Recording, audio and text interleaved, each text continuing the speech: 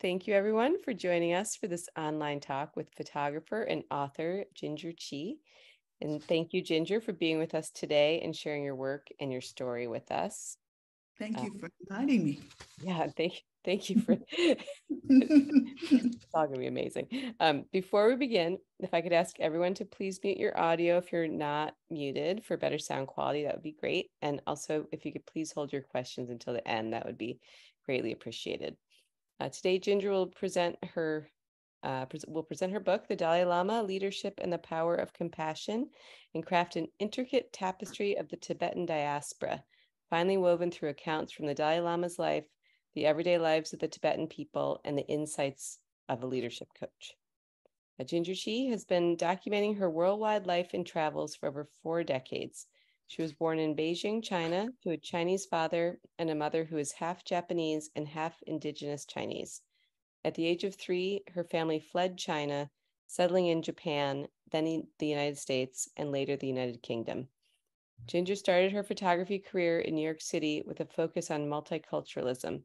She collaborated on a book, A Place Called Chinese America, that tells the story of Chinese immigration history. In her professional life, Ginger worked as a management consultant and executive coach in the USA, Asia, and Europe from 1988. She holds an MBA from New York University and a PhD from Cambridge, Cambridge University. As an executive coach, she found the integrating that she found that integrating the teachings of the Dalai Lama resulted in more harmonious workplace relationships and deeper understanding of cultural differences. As a student of Tibetan Buddhist teachings and its meditative practices, she applied her skills as a photographer to document the t- Tibetan diaspora and its preservation of cultural and national identity in exile. Over the past 10 years, Ginger has photographed her numerous visits to over two dozen Tibetan refugee communities in India and Nepal. Ginger has taken photographs of various aspects of the Tibetan community, showing day to day life with residents in educational, religious, and cultural activities. She has an ability to draw out people's stories, which she has incorporated into her narrative. This is her gift to the Tibetan community and her way to express appreciation by preserving and sharing its culture. The Dalai Lama has taken a special interest in this project and granted access to his archival photos and private living areas. Those who read her book and see her photographs will have a firsthand experience of the sights and sounds of Tibetan culture in exile. Without further ado, please welcome Ginger Chih. Thank you, Ann, and thank you very much for joining. I see uh, 31 people have joined. Although I'm saying this is my journey, it's also the journey of the Dalai Lama and his people, the Tibetan diaspora. Um, so let me begin with a brief overview. Unique to Tibet is the Dalai Lama. Here he is at the age of four, who is a reincarnation of the previous Dalai Lamas. This one is number 14 which means he's been reincarnated 14 times. And um, very um, special to the Tibetans, the reincarnation has a specific sequence. So, what happens is when the Dalai Lama dies, there's a regent until they find a new Dalai Lama. And the regent would dream or he would see uh, signs divination, uh, divination, all kinds of things. And then he would start getting messages. So in this case, he saw in his vision a roof of a house that was very unique and some letters. And so they went to um, East Tibet and they found the roof and they found this little two year old who then started saying, mine, mine. He was, uh, uh, you know, point to, pointing to all these uh, things that belonged to him as the 13th Dalai Lama. And word got out that they had found the Dalai Lama. So he, this little boy at two, was sent to a monastery. And until the Tibetans could pay some ransom money, he was kept there by the warlord. And finally, in 1940, when he was four, so this is still in his outfit before he's the Dalai Lama, um, he was taken with his family to, um, to Lhasa. Oops, sorry. And um, I wanted to also give you a little bit of political um, overview. In 1950, 80,000 soldiers from the People's Liberation Army crossed the river into Tibet. And at that time, the Dalai Lama was given full temporal authority. He was only 15 years old. And around that time, his older brother, who um, is a monk at Amdo, where, where the family lives, uh, came running. And essentially, he said he's been a prisoner in his monastery. And he was asked by the Chinese um, um, army to see if he can persuade the Dalai Lama to um, to participate. And if he said no, then he, his brother was to kill him. So essentially, um, they realized the situation was really, really bad. And so at this point, he's 15 years old and um, the leader of 6 million Tibetans, and they um, face the threat of full scale war. Dalai Lama then sent delegates to US, UK, Nepal to ask for help, but no help came. And then he tried to uh, convince the, um, uh, the Chinese, and he actually even spent about a year uh, with, with Mao Zedong um, trying to persuade, persuade him to uh, leave Tibet alone. And essentially, over the next nine years, um, the Chinese kept coming closer and cl- closer and into Tibet. So then we're in 1959. He just passed his monastic examination, which is equal to a doctorate. And something weird happened. So the Chinese general who was in charge of Tibet invited him for a show saying, let's celebrate your graduation. And then he said, by the way, do not bring your bodyguards with you.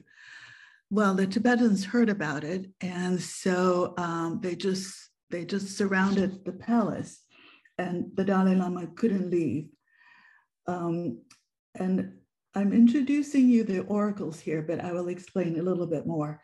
So Dalai Lama consulted with the oracle, and he was instructed to leave the country that night and he was disguised as a soldier and he slipped past his people. Uh, three weeks later, he reached India and he has been living in India in asylum ever since. He's today 87 years old. Now I will start my story. My journey began in Zurich in 2005, where I first attended the Dalai Lama's public talk. So this is in Switzerland. And um, I was way, way up in, in the sky. And when he entered, you can hardly see him. Um, when he entered, the um, stadium was filled with positive energy and excitement. We were all captivated by his charismatic presence and message of compassion. He spoke to the critical issues of the world injustice, suffering, poverty, and materialism. He was passionate about how humans abuse our only home the planet Earth. And then he said, uh, we could each make a difference by taking small steps. I believed him and I started to study Tibetan Buddhism and I started traveling to attend the Dalai Lama's teachings. Uh, Ann mentioned that I was running a um, leadership program in Europe.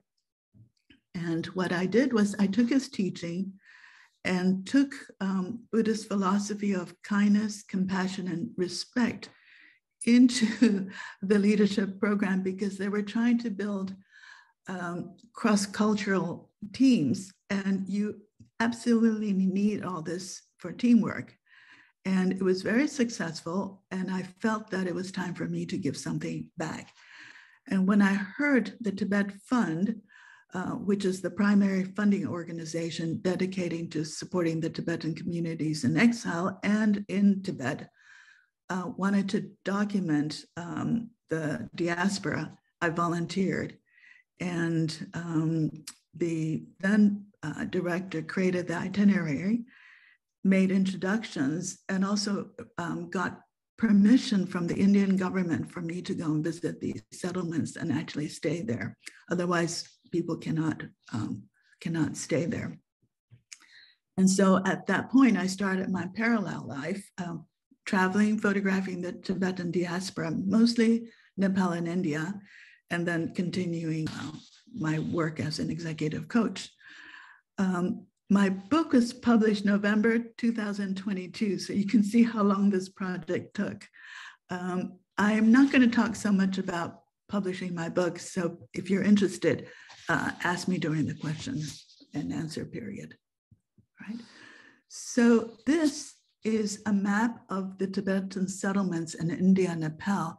You can see there are quite a few of them. The ones on the bottom, the south part of India, I went to all of them. Those are the large settlements. And then um, to the east of India, um, those are quite small. And um, I didn't go, but north of India, Darjeeling, Kalimpong, all of that area, I've been, um, all of the settlement in Nepal. So it's a lot of settlement I went to and documented. You'll see some of the photographs from these settlements. Right. Now, this is a photograph of Dharamsala, and it was taken from the courtyard where the Dalai Lama's compound is. Um, when I traveled to the settlements, everywhere I went, people would show me around, and then they would say, because of the Dalai Lama, we were able to, you know, uh, all kinds of things, like um, start cooperative, uh, do organic farming. And I really felt that I needed to meet the Dalai Lama to complete my narrative.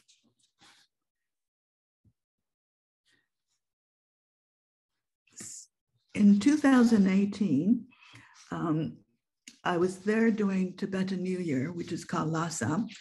Now, most mornings when he is in Dharamsala, he receives a few hundred visitors in the courtyard. So you see these nuns lining up. So you start by lining up, and there, there could be like 200, 300 people lining up. Then what he does is people kind of goes in clusters. So it could be family clusters or school clusters and so he he would meet them. And what I saw was greeting people. He would speak to them shake their hands, listening, uh, blessing. And um, one day he had about 400 people, and you could tell he was really, really tired, but he was greeting every single one of them. Then this one is after he greets everybody, then people sit around him, and then he has a monk who photographs, and then he, people can get these photographs. So um, one morning, he, he always looks at the monk, and then he saw me standing right next to the monk and said, Who are you? And then somebody pushed me. So I was three feet from the Dalai Lama. And I told him, Oh, I was born in China. My family escaped um, uh, communist China eight years before he did and I grew up in Japan. And I told him that I had gone to the settlements and I was documenting how his people preserved Tibetan culture. So then he smiled and said, I want to meet you privately. And that's how I spent five, five, actually five weeks with the Dalai Lama.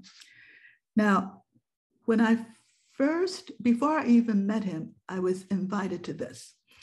So remember I was saying that um, the oracle um, told the Dalai Lama to escape. So this is uniquely Tibetan. And the oracle is not like the Greek oracle. This person is the reincarnation of the main protector oracle of the Dalai Lama. And in fact, not only is he the protector um, oracle, but they also do uh, divination, prediction, um, they um, the, the government in exile consults with the oracle uh, at the beginning of the year, and this is where um, I photographed. The oracle has saved this particular Dalai Lama quite a few times, and previous Dalai Lama quite a few times as well. And a few days after da- Dalai Lama escaped, the Chinese actually bombed his living quarters, he would have been dead. Now, he is a monk and he goes into a trance. And once he goes into a trance, the spirit of Nechung goes into his body. And so um, the spirit, it's the spirit is the oracle and he's the medium. So here you see the, the uh, oracle with this really heavy hat. If he wasn't in a trance, uh, it could be 35, 40 pounds. He wouldn't have been able to, to wear this. So he's paying respect to the Dalai Lama. This is Dalai Lama in his private temple. And then it, it, was a very elaborate and long um, ceremony. The, um, the Tibetan government officials were there, and then I was the only um, non-Tibetan uh, photographing. And it was just amazing, uh, loud with music, elaborate. And then when the oracle finishes um, and gets out of the trance, he actually collapses and they're stiff as a board. And they get taken to another room where the attendants must massage them because you know they're really stiff as a board. And then they come in and have tea. Now, when this finished, they quickly took me down the hill to the reception room.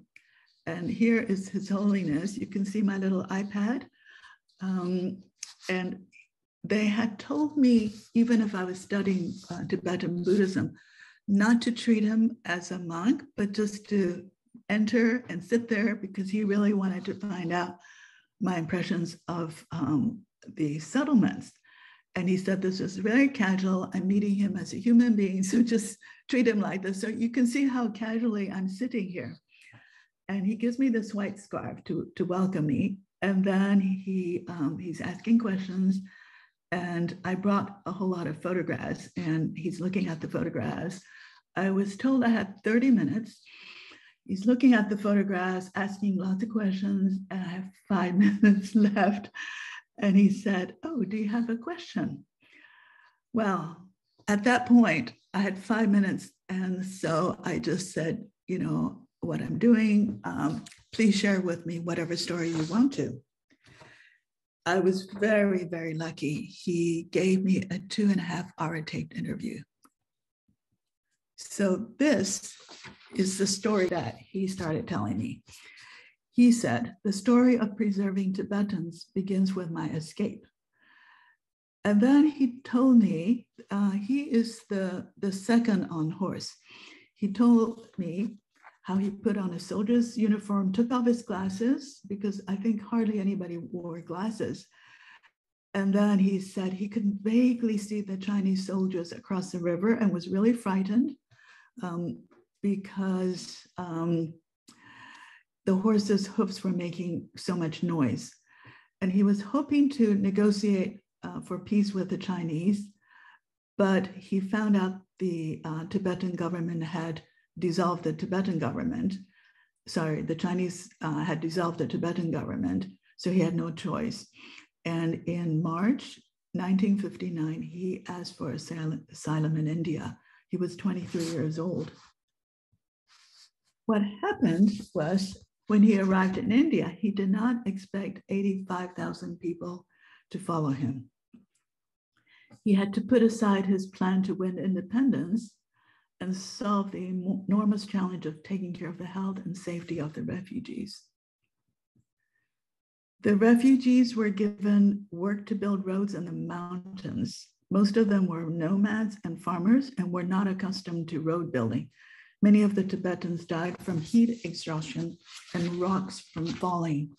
The Dalai Lama had always disliked protocol, and in exile, he walked around among his people um, he saw that children suffer the most. Most of them were sick, and so many of them were orphans. So he asked his elder sister to start a school for the orphans. So this is the school, which is really not a school. Um, their main um, their main thing was to uh, provide shelter, food, and clothing. And so it provided a sense of place and belonging. Education came much later. Now, before the Dalai Lama even built the settlements, he took care of the children because education is actually providing the future of uh, Tibet. And both the Dalai Lama and the Indian Prime Minister Nehru felt that if the children were absorbed into the Indian schools, they would soon be assimilated and the Tibetan culture will be lost. So um, this was an Indian school created for the Tibetans. And um, then the Tibetans created their own school, which is called the Tibetan Children's Village. And there, um, the children lived not in dormitories, but in homes. So this is a mother. She has her own family, but she is the mother of the maybe 30 children who live in this uh, home. Children are taught to be self-sufficient, and so they do the cooking. Little children are um, little children are um, maybe counting spoons, and then as they get older, they're actually uh, frying the food. This is an example of what it looks like inside. There's not much room. Now, um, although some of the children are orphans, some of the children were brought out of Tibet by family members while the parents stayed in Tibet. And this is because the Tibetans wanted um, their own children to grow up in, uh, in freedom. And um, when I gave uh, a talk in, in, uh, in New York, a number of them came and said uh, they actually um, were um, sent to India and they never saw their family again. But what happens is so many our children are in the same situation that you know they think it's sort of normal I saw so many kids um, just interact. Oh, they're they're just so um, they're just so warm towards each other. There's always singing, and wherever I went, uh, if they were singing, they would sing in Chinese because the teacher said I was Chinese. And then she said, but she lives in uh, America. Then they would sing in, uh, in English. So they already learned Hindi, Tibetan, English, and Chinese, so four languages. And here is an English class. The schools also taught uh, music, art, dancing, philosophy. And the Dalai Lama had actually said no matter where the, the diaspora live, as long as they preserve their language and culture, Tibet will live on. The children are educated so they have the knowledge and the skills to live in the modern world. The Dalai Lama often visits the schools and give teachings on Buddhist ethics. In one of the visits, this is a, a children's um, village in Dharamsala near him, he told the students that they're there out of the kindness of others. Others before self then became the motto for TCV.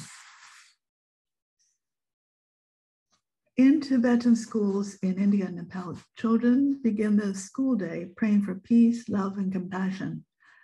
Education is a huge success story. In Tibet, literacy was low among the people. In one generation of exile, 99% of the youth are literate.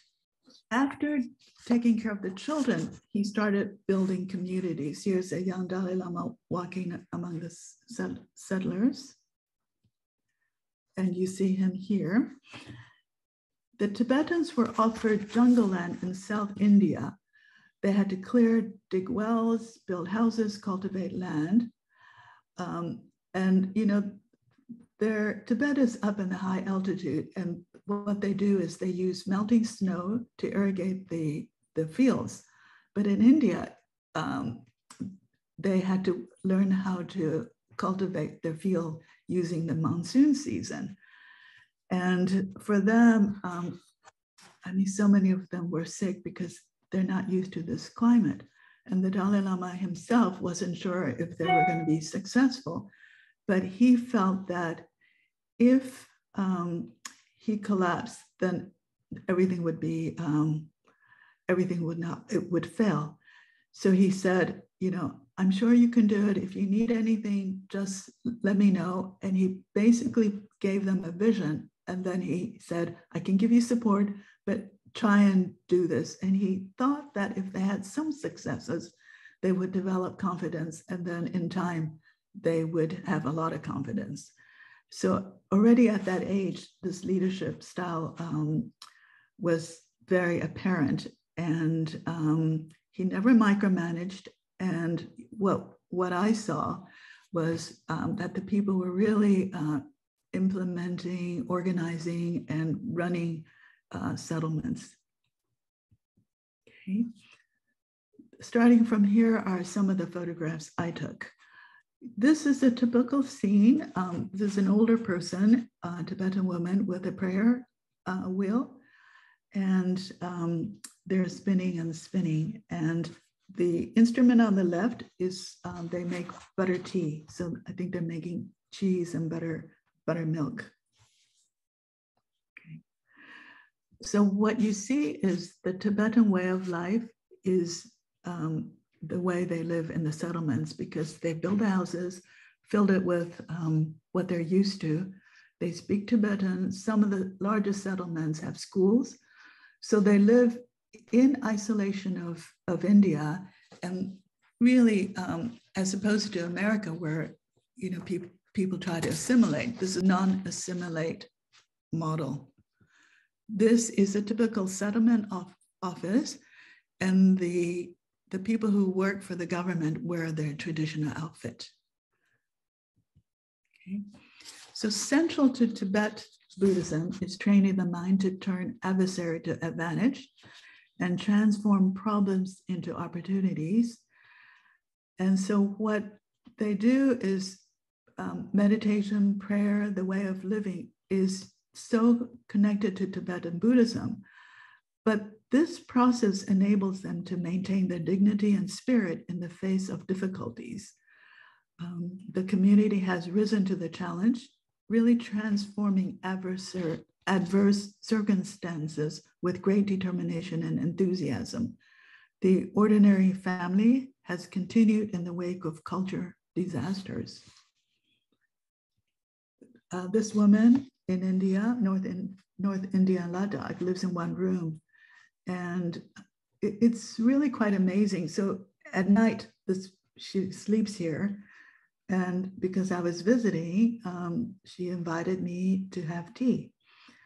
And I actually was quite surprised at how friendly the Tibetans are towards me, in spite of my being part Chinese.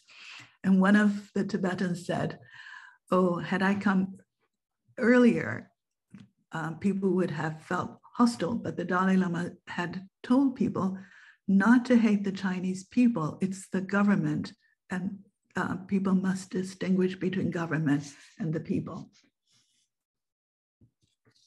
This is another um, typical scene. Um, this is a group of um, children. Actually, they're not settlement. There are a few um, communities, very, very poor. And, um, you know, they're calm, they're peaceful, they, they're together, but they seem to be, you know, deep in their own thought. They don't really have much. They're playing with pebbles, but they look quite content and happy.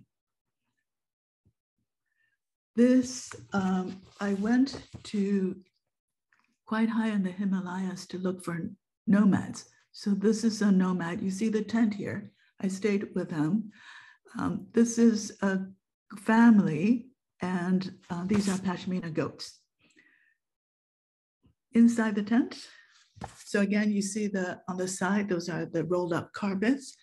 And she cooked this amazing meal on this little stove using um, yak, yak dung for fuel. Okay. So a few hundred nomads still live year round in tents. They follow the yak up into the Himalayas in the summer and then further down the mountains in the winter. And as the kids get older, they would be sent to one of the schools so that they would learn to read and write and, and um, be educated. in the in the settlements, um, there are people who are weaving. Um, there are people who are embroidering. This is a, a ceremonial robe for monks. And artists also live in the uh, settlements. Uh, he's painting a tanka.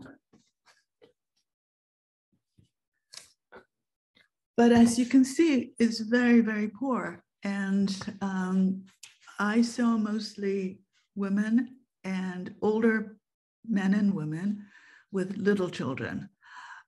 But the uh, younger people, there's there's very very little um, way to make a living there, and so the majority of the Tibetans actually sell sweater in stalls along major bus and train stations in India.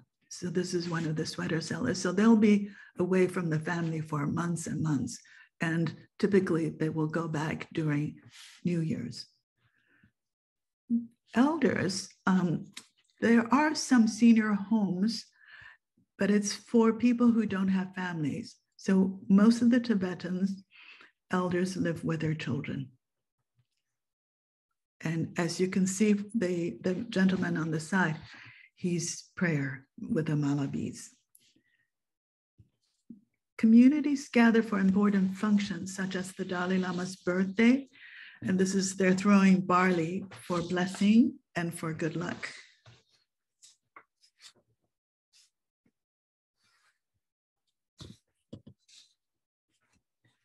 The Tibetans taught, uh, sorry, the Dalai Lama taught the Tibetans, home is where you live in your community um, and the people who care and host you. And this was very apparent when I was in, um, this is the South Settlement in 2018 during Tibetan New Year celebration. And the whole community is engaged in um, participating. And at a certain day, people started uh, going to Dharamsala to uh, give blessings to the Dalai Lama and also to participate in his teaching. And I went there as well. This is a young family living in the Bay Area. And they're standing right outside of the gate of the Dalai Lama's compound. Um, I wanted to show you this because um, when the Tibetans uh, first escaped. Switzerland was the first Western country. They uh, invited a thousand orphans. America, on the other hand, um, didn't really want to get involved. And it wasn't until the 1990 Immigration Act that a thousand Tibetans were invited to um, live in America and they did not want to use the word refugee, so they called them displaced people because they did not want to provoke the Chinese government. Here Dalai Lama, um, sitting outside of the, the main temple um, to give a talk, he doesn't really like to wear these hats, but on certain occasions, he wears hats and puts on um, special clothing as required. And this is um, the courtyard. It's people were, I just could photograph a bit, but I don't know, thousands of people were there. And um, yeah, he knows he's the focus of the Tibetan people's hope and trust. And um, because of his stature among the Tibetans, he actually has um, started to um, bring modern elements. And even if you see these monks dressed to, um, in the typical robe, he's made quite a lot of changes, which I'm going to talk about. So, one of the things that he's done is he had said that um, he's one of his job is to preserve Tibetan Buddhist culture. This is his private temple. And to the left of him is, um, sorry, on the left side of the photograph is a statue of Guru Rinpoche, who brought Buddhism to Tibet in the 8th century. And what the Dalai Lama noticed is people just praying and praying, constantly praying. And he just started saying, What is the point of praying if you don't know what you're praying about? And so he he when he teaches, he said, don't just listen to me and believe. you have to actually think about what I said. If you don't believe in it, question, don't just believe it because I said it to you. And so he's getting people to think, he's getting people to, to dialogue, um, to actually not be um, believing in blind, blind faith. Now, the, in Tibet, there were some very large monasteries. All of them were rebuilt in India and Nepal, and most of them are close to the settlements. But there are also many, many smaller settlements.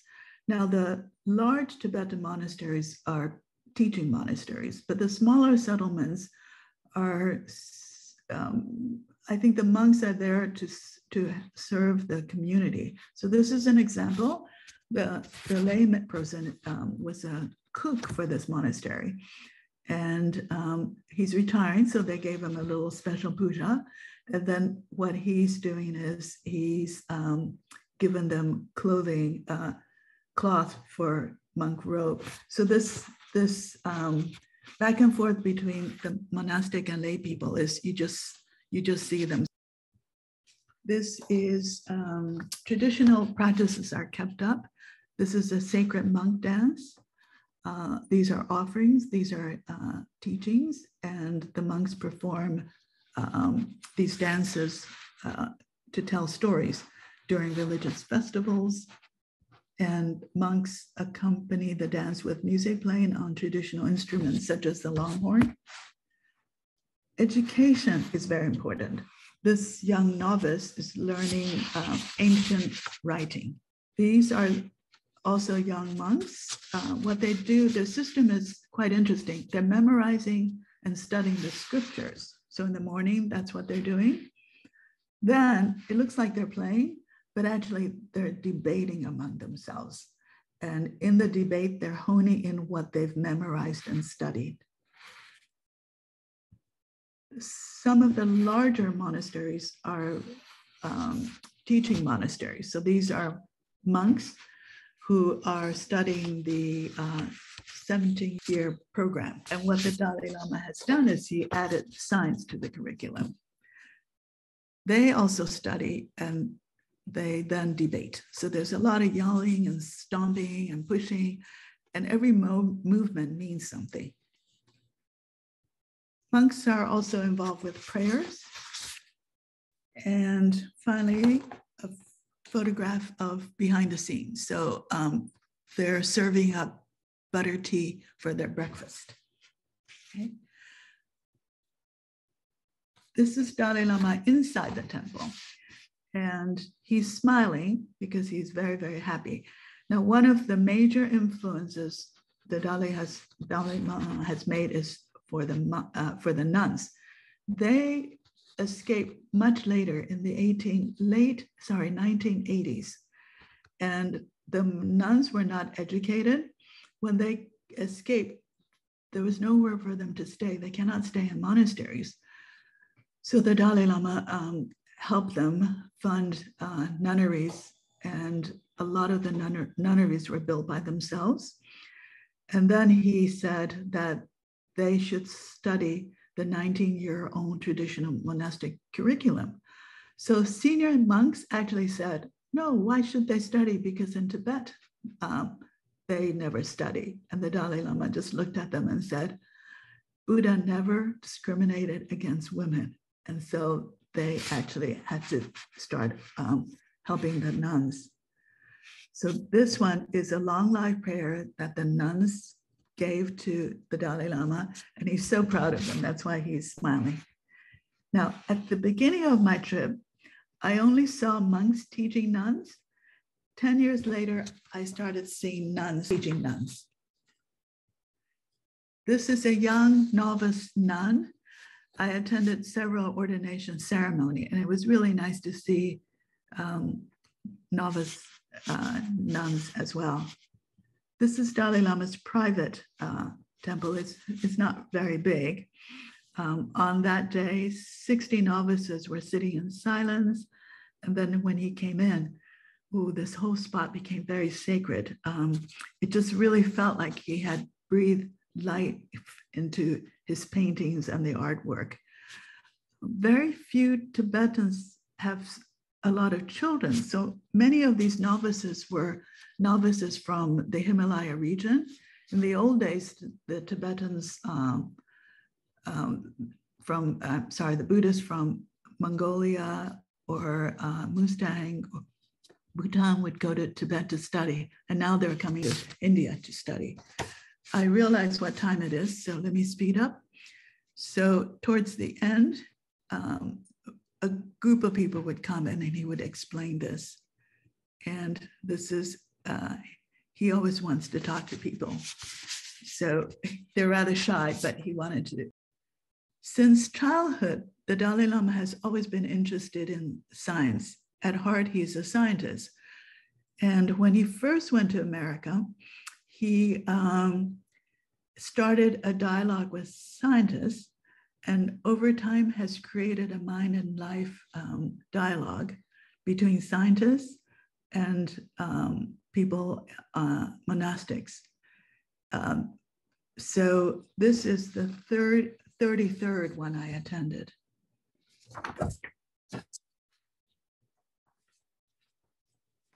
When I met the Dalai Lama, I wanted to find out how somebody who grew up in such secluded and educated as a monk developed um, worldwide, a wider world viewpoint. He had traveled to Asia, but hadn't been to the West until 1973 when he was 38 years old. He was unknown and he could walk around freely. He spent quite a lot of time in London and he saw so much wealth. And he thought that with wealth, people would be happy. But he realized that um, material wealth, scientific advancement didn't translate to high levels of serenity and satisfaction. And so what he saw was the paradox of external comfort and internal psychological and emotional suffering. This trip actually planted the seed of thinking of himself as a citizen of the world rather than a simple monk living in a remote village in India. He felt that Tibetan culture could offer something valuable to the world. And in the time I was there, so many international people wanted to have an audience that he invited hundreds of them to come to the courtyard. And he pulled out a chair and he sat there and um, people could ask him questions. So somebody said, asked him if he ever gets lonely. And he said, if I think of myself as a Tibetan, there are just a few of us, or a monk, there are even fewer. And if I think of myself as the Dalai Lama, there's only one of me in the world. I might get lonely, but I think of myself as one of 7 billion people, and everybody's my sister or brother, so I never get lonely. And one, one of the refugees have, um, uh, sorry, other refugees have told the, uh, the Tibetans that they are very lucky they have the Dalai Lama. And the Tibetans say, yes, we now share the Dalai Lama with the world, and how fortunate we are.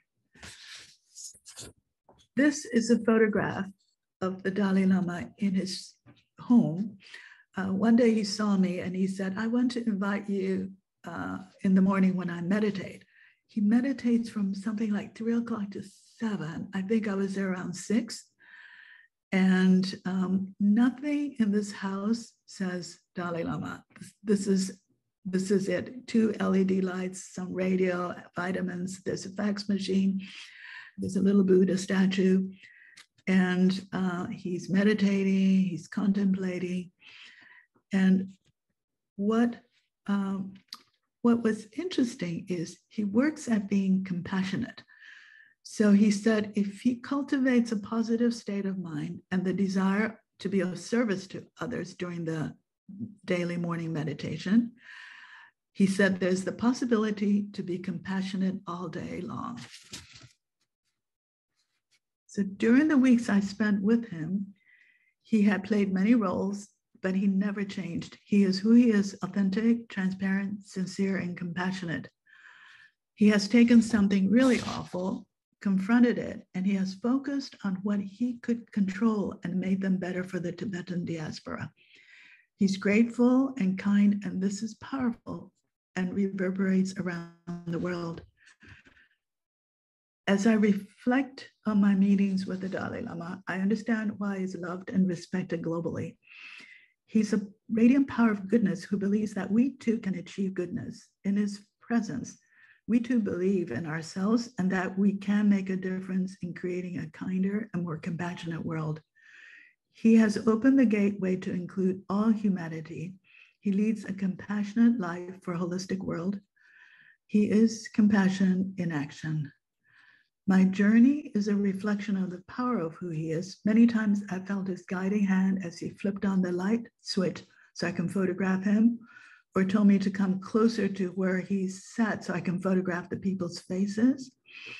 As I listened to the taped interview, I saw a faint outline for this book. I didn't intend to write this book, but here I am inspired into action.